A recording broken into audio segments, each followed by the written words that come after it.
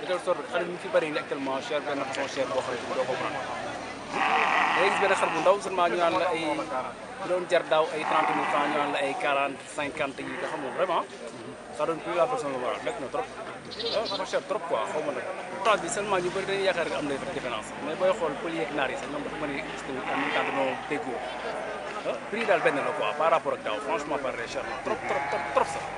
man dama jàppoon ni xëy na dañ leen dóor dóor teg ay teg ay genre taxi yooyu laa xaw ma mais bu may laajte daal dañu ñëw amuñu benn taxi ñu leen teg kon donc affaire bi war na war a mën a yomb quoi franchement.